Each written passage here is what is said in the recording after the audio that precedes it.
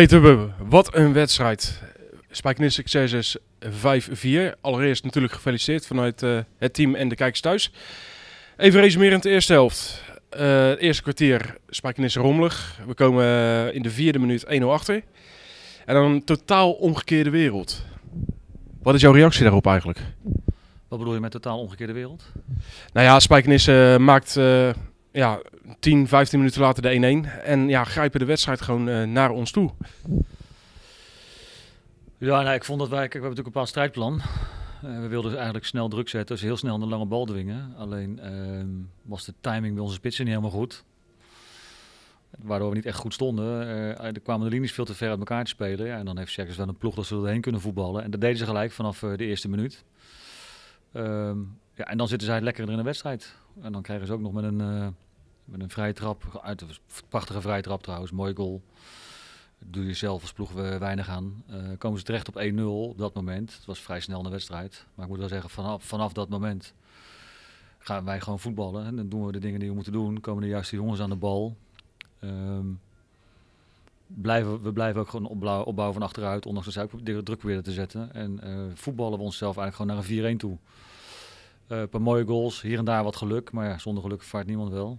Maar vond ik dat we uiteindelijk uit de eerste helft uitstekend afsluiten. Dus uh, beginfase voor Xerxes, daarna het grootste gedeelte, gedeelte van de eerste helft voor ons. Met een mooie 4-1 op scorebord. Ja, je zegt al, met rust staan we 4-1 voor. En uh, ja, dan, uh, dan komt de, de T. En ja, het lijkt gewoon alsof een totaal andere Xerxes en een totaal andere Spijkenisse uit de kleedkamer komt. Spijkenisse zeer rommelig. we hebben het donderdag al gehad. Misschien dat er spelers zijn die een procentje minder gaven. Ze wat opportunistisch gaan spelen. En ze komen in een krap half uur komen ze gewoon van 4-1 achter naar 4-4. Word je dan als trainer niet gewoon totaal gek? Nee, word ik niet. En uh, nee, ze komen ook niet in een krap half uurtje naar 4-4. En, er is geen één speler bij ons geweest die een minder heeft gegeven. Echt niet één. Ze hebben allemaal keihard gewerkt. Alleen het gaat om, om de keuzes die je maakt in het veld. En je hebt ook met een tegenstander te maken. Ik zeg in de rust tegen mijn ploeg, uh, ja, de ploeg die het eerste de goal maakt, die uh, gaat rustig van het veld af. Um, als 5-1 wordt klaar, als 4-2 wordt, krijg je gewoon een verschrikkelijk moeilijke wedstrijd. Ik heb ze ook verteld, ik heb even staan luisteren bij de deur van de tegenstander. Ja, die, trainer die heeft 5 minuten, 6 minuten, 7 minuten op zijn instaan schreeuwen. dat hij er nog in geloofde, dat ze hem één goal hoefden te maken om 4-4 eruit te halen. Dus dat heeft hij uitstekend gedaan. Dan nog eens het eerste kwartier naar rust, helemaal niets aan de hand zijn wij iets betere partij nog, vind ik. Zonder dat we het niveau van de eerste helft haalden. Ja, maar goed, helemaal niks aan de hand. En vervolgens maken wij, en dan gaat het over de keuzes, zijn we aan onze linkerkant hebben balbezit met een aantal jongens. En we voetballen niet eh, van onze goal af, maar ze blijven daar een beetje rondtikken op die zijlijn. Twee keer onnodig balverlies, uh, weer de bal terugkrijgen. Je kan weer naar voren voetballen, toch weer even een klein driehoekje maken, onnodig balverlies en overtreding op de zijlijn. Terwijl je eigenlijk al lang aan de overkant van het veld moet zijn. Uit die vrije trap valt die bal helemaal achterin bij de tweede paal. Waar we niet goed genoeg het duel spelen. Waar we ook niet genoeg opletten op de tweede bal. Ja, dus tikken ze binnen. Bij, en vanaf dat moment zie je, is een kwartier naar rust. Ja, en dan, dan gebeurt er iets bij een tegenstander. Die gaan ineens in een wonder geloven. Ja, en als je in een wonder gaat geloven, dan komen er andere krachten vrij. Um, en dan zijn wij nog steeds allemaal 100% bezig. Alleen we zitten niet meer in de wedstrijd. En zij geloven in dat wonder en hebben uh, met die krachten die ze daaruit uh, kunnen bundelen, ja, maakt ze ons heel lastig. Dan nog vond ik, is er niet zo heel veel aan de hand. Ze gingen erg opportunistisch spelen, veel mensen aan de voorkant, natuurlijk voor hun laatste kans vechtend. Totdat we weer zelf met een tekorte terugspeelbal uh, de 4-3 op scorebord zetten. Ja, en, en, dan weet je, dat zeg ik ook al langs de kant, is die 4-4 ook niet meer tegen te houden. Nou, die, een van hun uitblinkers vond ik die Dokan. Uh, is gewoon een goede voetballer. Ja, die maakte, die maakte gewoon een fantastische goal, 4-4. En dan denk je bij jezelf, ja, als het maar niet te lang doorgaat, want de 4-5 hangt eerder in de lucht dan, de 5-4. En um, vervolgens heb ik ook na de wedstrijd in de kleedkamer gezegd, ja, ik vind het wel leuk dat een jongen als eh, Shane, die komt zo aan de beurt, uh, dat zo'n speler dan uh, op die manier, gewoon op een fantastische wijze, 5-4 erin jast, uh, vlak voor tijd. Waarna je uiteindelijk toch aan het langste eind trekt. Beetje tikkeltje onterecht. Ik denk dat Serx ook wel een punt had verdiend. maar wel lekker. Peter Hubbe, dankjewel. Shane van den Engel, vandaag, Peter zei het al, een, zeer boeiend duel. Eerste helft gewoon goed, tweede helft ja, niet even strak altijd. En opeens diep in blessuretijd, jij krijgt de bal voor je voeten en jij denkt van ik schiet maar gewoon. Ja, dat uh, dacht ik eerlijk gezegd wel, ja. Ik had in eerste instantie dacht ik dat ik hem net niet zou halen. Dat ik ja, misschien met mijn knie net zou raken of zo. Maar ja, ik raakte hem alsnog en een beetje gelukkig via een been of het lichaam van een speler van Sexes. Ja, vliegt hij erin. Uh, we hebben het met Peter er al over gehad uh, de afgelopen weken. Het team is, is groeiende. Voel je dat zelf ook?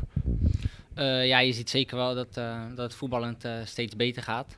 En ehm, ja, dat we wel veranderd zijn als team waarin we ja, vorig jaar natuurlijk meer vechtvoetbal speelden en, en veel moesten lopen. Dat we nu steeds meer een team worden die gewoon ja, voetballend ook de baas is.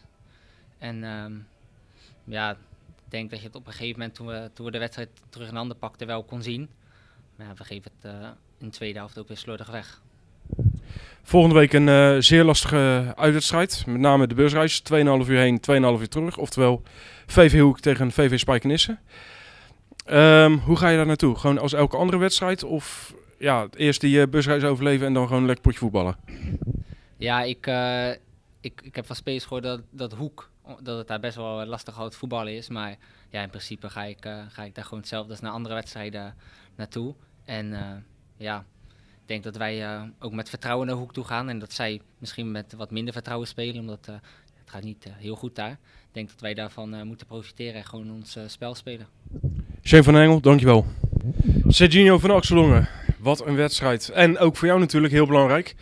Twee assists, twee doelpunten en ja, een doelpunt. Eh, of ja, een doelpunt, een afstandsschot wat er bijna op twee meter naast gaat. Ja, ja dat is altijd mooi hè. Dat is altijd mooi. Ja, jammer dat het niet erin gaat, maar uh, kijk, de, zulke, dingen, momenten voetbal je.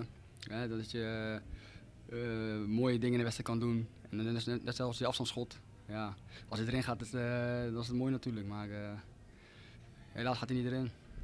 Een week of drie, vier geleden eh, hadden we al natuurlijk een interview. En toen zei ik van, ik zie uh, Van Axeldongen spelen.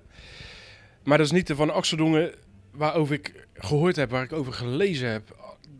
Dat was vandaag eigenlijk anders. Je speelde we vrijer. Uh, wat ik al zei, twee doelpunten, twee assists. Voelde je dat zelf ook wel? Ja, net zoals de laatste week hoor. Voel ik wel wat, wat vrij. Ik heb die last van mijn schouders gewoon van me afgegooid en gewoon vrij gaan spelen. En uh, ja, ik kreeg alle vertrouwen van de trainer. En, uh, en dan met het belangrijkste voor het team. En met goals, dat, uh, dat geeft ook vertrouwen. Dus vandaag ging, ging weer lekker. Dus ja, de oude senior komt wel terug, denk ik. Volgende week HSV Hoek. Volgens mij voor, voor jou geen onbekende. hoe is het spelen daar? ja, altijd een lastige ploeg hoor. Stugge ploeg, fysiek sterk. goed organisatie, organisatie altijd goed. Maar uh, ik denk niet dat we ja, daar hoeven te verliezen. Want ze, zijn ook niet goed bezig volgens mij. Ik weet niet wat ze vandaag hebben gedaan. Dus uh, ja, we gaan gewoon weer dezelfde weg inslaan als vandaag denk ik. Serginho, dankjewel.